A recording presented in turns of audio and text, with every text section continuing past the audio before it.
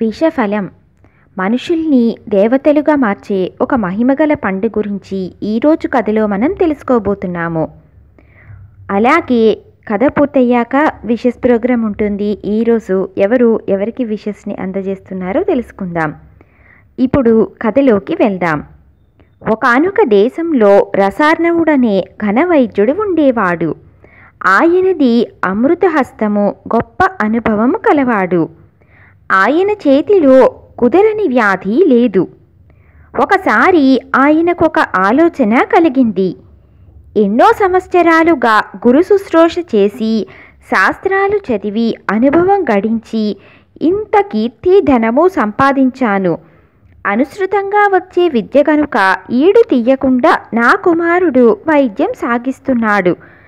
కానీ నాడి పరీక్ష చెయ్యాలన్నా అసాధ్య రోగాలకు చికిత్స చేయాలన్నా వాడికి కష్ట సమస్య అవుతుంది. వ్యాధిని బట్టి మందు నిర్ణయించటానికి కాస్త కూస్తో జ్ఞానం చాలదు. దీనికి దైవానుగ్రహం ఉండాలి అనుకున్నాడు. ఈ ఉద్దేశం కలగగానే రసార్ణవుడు తన వృత్తి కుమారుడు సోమదత్తుడికి అప్పగించి అరణ్యాలకు పోయి తపస్సు ప్రారంభించాడు. మూడు సంవత్సరాల తరువాత ఒకనాడు అశ్వినీ దేవతలు ఆయనకు ప్రత్యక్షమై కోరిక ఏమిటో చెప్పమన్నారు. అందుకు రసార్ణవుడు సమస్త వ్యాధులు నయమయ్యే ఒకే ఒక్క సాధనం నాకు అనుగ్రహించండి అన్నాడు. అప్పుడు అశ్వినీ దేవతలు అతనికొక విత్తనమిచ్చారు. దీన్ని పాతిపెట్టు. ఈ వృక్షం తాలూకు ఆకుల రసం వాడితే సమస్త రోగాలు కుదురుతాయి. దీని ఫలం సేవిస్తే స్వర్గ సౌఖ్యం లభిస్తుంది. కానీ స్వార్థం విడిచి లోకోపకారం కోసమే దీన్ని ఉపయోగించాలి అని చెప్పి అదృశ్యమయ్యారు. రసార్ణవుడు సంతోషించి వెంటనే ఇంటి పెరట్లో దేవతలిచ్చిన విత్తనం పాతిపెట్టాడు. చూస్తూ ఉండగానే అది మొలకెత్తి వృక్షమై ఆకులతో నిండిపోయింది. దాని చిటారు కొమ్మని ఒకే ఒక్క ఎర్రటి పండు ఉన్నది. ఈ చెట్టు ఆకులతో రసార్ణవుడు వైద్యం చేస్తూ మునుపటి కంటే ఎక్కువగా ఖ్యాతి ధనము సంపాదించాడు. అతని కుమారుడైన సోమదత్తుడికి కూడా ఈ చెట్టు ఆకులను గురించి మాత్రమే తెలుసు. పైన ఉండే పండును గురించి ఎవరైనా అడిగితే అది విషఫలం అని రసార్ణవుడు చెబుతూ ఉండేవాడు. సోమదత్తుడికి ఈ సంగతే తెలుసు. ఇలా ఉండగా రసార్ణవుడికి వృద్ధాప్యం వచ్చేసింది. మరణ సమయమందు కొడుకును దగ్గరకు పిలిచి నాయన నేను కష్టపడి సంపాదించిన ఈ వృక్షం తాలూకు మహిమ నీకు తెలుసు కదా. వైద్య వృత్తి సాగించి అందరకు పూర్ణారోగ్యం కలగచేసి నువ్వు సుఖంగా కాలక్షేపం చెయ్యి. మన కుటుంబం పేరు నిలబెట్టు అని చెప్పాడు. అప్పుడు సోమదత్తుడు నాయన ఆకుల పసరే ఇంత అద్భుతమైన గుణమిస్తున్నది కదా. చిటారు కొమ్మని ఉన్న ఆ పండు ఎందుకు విషఫలం అయ్యింది? అని అడిగాడు. అందుకు రసార్ణవుడు సోమ ఆ రహస్యం చెప్పటానికే నిన్నిప్పుడు పిలిచాను. వైద్యమర్మం రెండో వాడికి తెలియనివ్వకూడదు. అందుకనే ఆ పండు విషఫలం అని అందరితో చెబుతూ వస్తున్నా. కానీ నిజానికి అది అమృత ఫలం. అది తిన్న వాళ్ళకి అమరత్వమే సిద్ధిస్తుంది. వాళ్ళు దేవతలతో సమానమవుతారు. దీన్ని గుట్టుగా ఉంచు సుమా నాకు కాలం సమీపిస్తున్నది.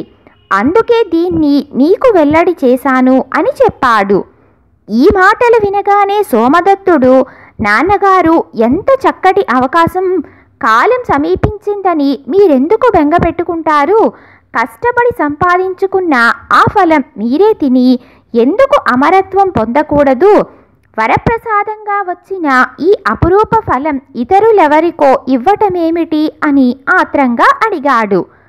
అందుకు తండ్రి కుమార చెప్పేది శ్రద్ధగా విను. బ్రహ్మపోసిన ఆయుష్ తీరిపోగానే జీవులందరూ ఈ లోకం వదిలిపోవలసిందే.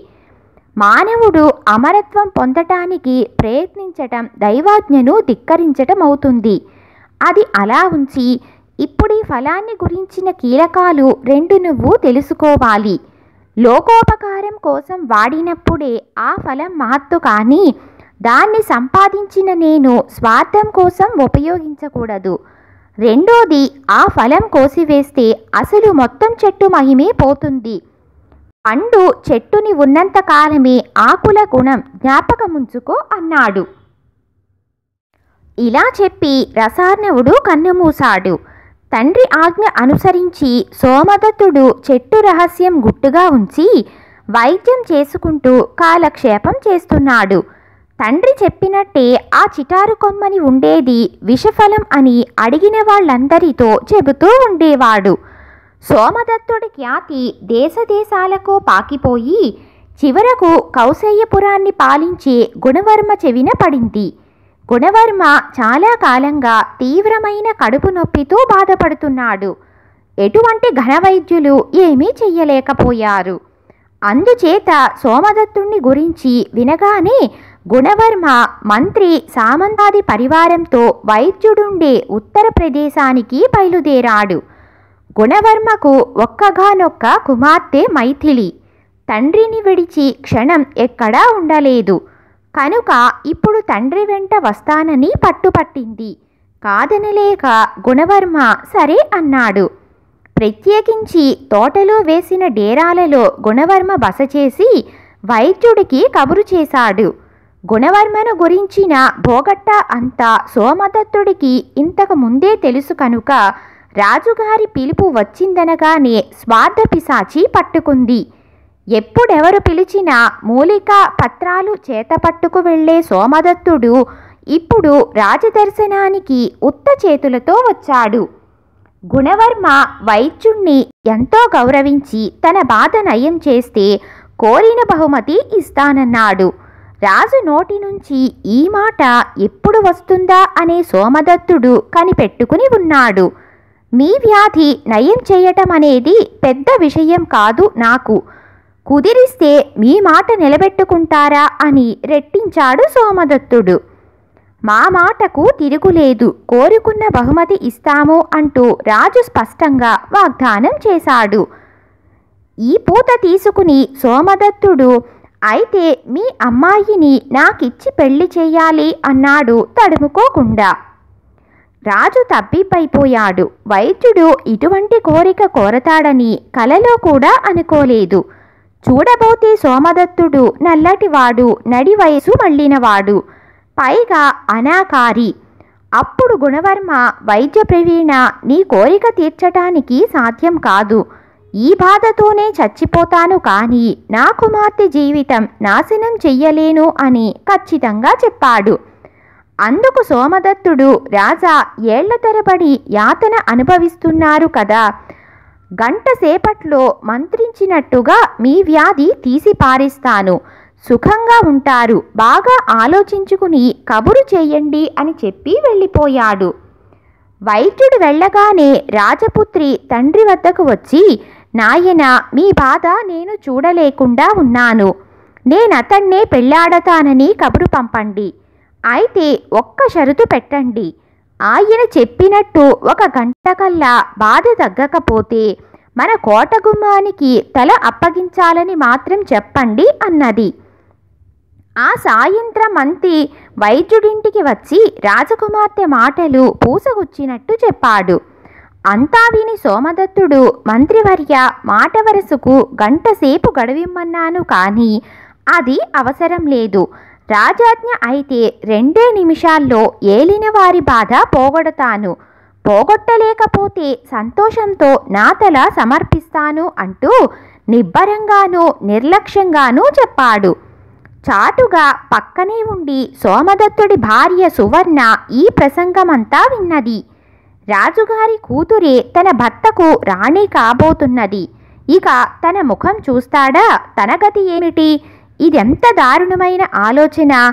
ఇలా ఆమె మనస్సులో తీరని వేదన పొందుతూ ఉంది. కాబోయే కళ్యాణం గురించి సోమదత్తుడు సంతోషంతో పొంగిపోతున్నాడే కానీ భార్య బాధపడుతుందేమో అని తలచనైనా తలచలేదు. చీకటితోనే లేచి ఆకులు కోసుకుని సోమదత్తుడు రాజుగారి బసకు బయలుదేరాడు. రాజుకు మందిచ్చాడు. ఎందుచేతనో తగ్గటానికి బదులు రాజు బాధ ఎక్కువై భరించలేకపోయాడు. వైద్యుడికి చెమటలు పోసాయి వైద్యశేఖర తల ఇవ్వటానికి సిద్ధంగా ఉండు అన్నాడు మంత్రి. స్వామి తొందరలో ఏదో పొరపాటు జరిగింది. మరొక మూలిక తెచ్చి ఉంటాను. సెలవిస్తే ఇంటికి పోయి ఇప్పుడే సరైన మందు తెస్తాను అన్నాడు వణికిపోతూ సోమదత్తుడు. రాజాజ్ఞ అయ్యింది కనుక సోమదత్తుణ్ణి మంత్రి సరే పోయి రమ్మన్నాడు. అయితే అతడు మోసం చెయ్యకుండా చెరివొక పక్కని విచ్చుకత్తులతో భార్యావాళ్ళని వెంట పంపించాడు. ఇంటికి వస్తూనే సోమదత్తుడు పెరట్లోకి వెళ్ళి చెట్టు చిటారు కొమ్మ చూశాడు. అక్కడ పండు కనిపించలేదు. అంతా నిష్ప్రయోజనం అనుకుంటూ లోపలికి వస్తుంటే కాలికి ఒక కాగితం తగిలింది. అందులో మీకు నేను ఆటంకంగా ఉండదలచలేదు. చెట్టుపైన ఉన్న విషఫలం తిని ఆత్మహత్య చేసుకుంటున్నాను అని ఉన్నది. ఆత్రంతో సోమదత్తుడు భార్య కోసం వెతకసాగాడు. ఎంత వెతికినా ఆమె కనపడలేదు. చెప్పలేని బాధతో రాజు మాట్లాడలేని స్థితిలో ఉన్నాడు. మంత్రి సోమదత్తుణ్ణి రాజు ఎదుట పెట్టి పక్కనే ఉన్న భటులకు సంజ్ఞ చేశాడు. అంతలో అశరీరవాణి పలికింది. అందరూ ఆ దిక్కుకి చూసి ఆశ్చర్యపడ్డారు.